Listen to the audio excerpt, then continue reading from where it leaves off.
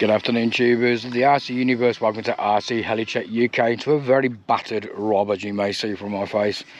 Had a little incident up here this morning, ambulance was called and all that crap. Anyway, enough about me.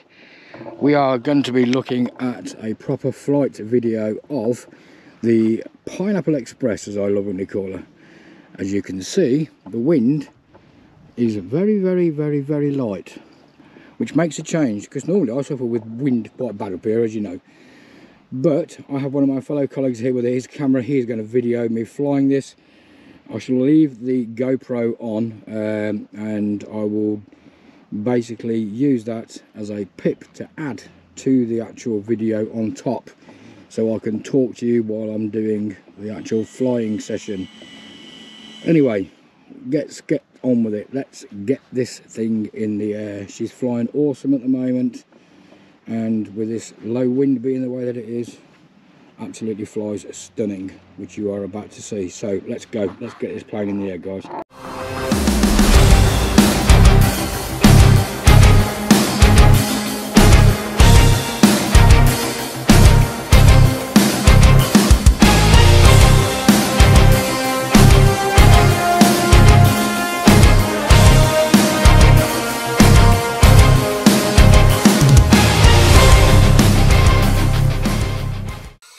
Calmer wind. One of the things I have noticed with this model is the front undercarriage spring is very, very soft.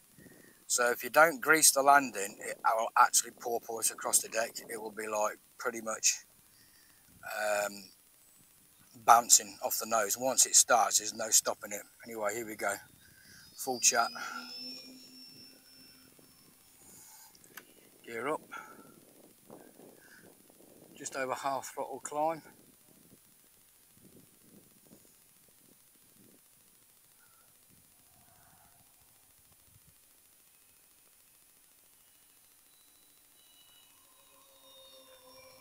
As you can see it's nice and steady. There's no vices to this model at all. I mean, it's like if you can fly a trainer plane, you could probably fly the Tigercat because it has got trainer tendencies.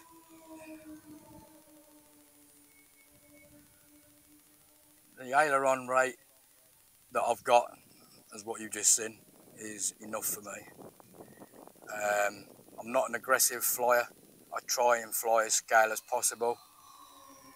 But as you can see, it's a shame that the sun's not out because it would really make the colour of the yellow stand out really well. But even as it is now, I can still see it clear as day. Um, it's a cracking aeroplane, it really is. I'm restricting my flying times at the moment purely and simply because I'm still getting used to the, uh, the throttle calibration and getting used to sort of like whereabouts to have the throttle. Um, if you fly it flat out, I notice that it tends to use up a lot of power. Uh, and it's not something I'd really want to be worrying about, like, is a lack of power. Uh, because my battery runs out.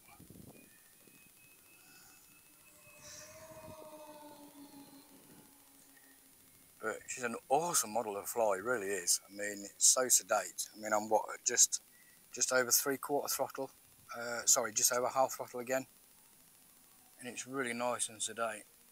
There is an issue with the undercarriage on these models, and apparently it's quite a common one. One of the oleo struts tends to move across the bar that it's mounted to, and it causes the retract to not be able to go up. Um, it's quite an easy fix. There's a block that the bar sits in with two screws. If you undo those, you can actually pull the retract out and just get a pair of pliers and pull it back out again.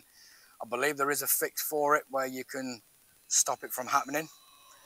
Um, that's something I need to look into because obviously I don't want to keep having retract issues. Talking of retracts, we'll drop them down now, bring her by, make sure we've got all three down. And then we'll bring her in for a landing. Yeah, I can see there all three wheels are down. That's a no flap. Um, slow approach there, just over half throttle.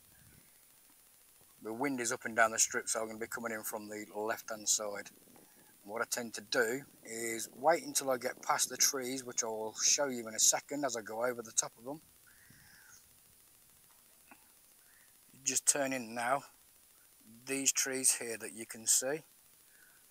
Drop down single flap, reduce the throttle because it makes it a balloon a little bit and then full flap and then we are just driving her in, literally.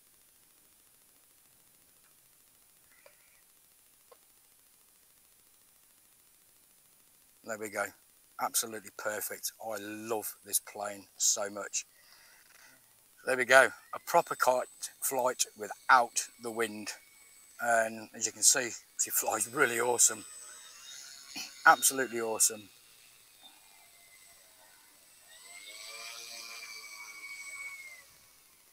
And there you have it, guys. Absolutely perfect.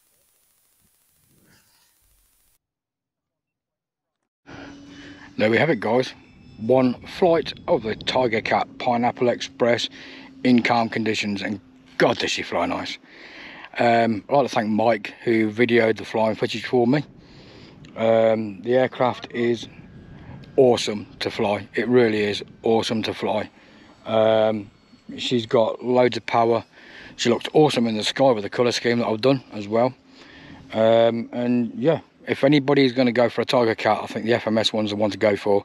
The Freewing Tigercat, don't get me wrong, or the Flightline Tigercat I should say. It's a nice plane, it flies just as nice, but it's a little bit smaller. This is bigger, it's heavier, it penetrates through the air a lot better. And she sounds awesome on this race pack, as I call it, with these twin beaver props.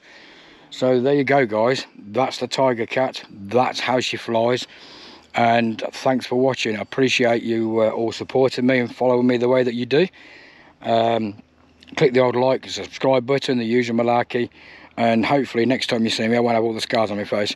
But thanks for watching guys and i will see you next time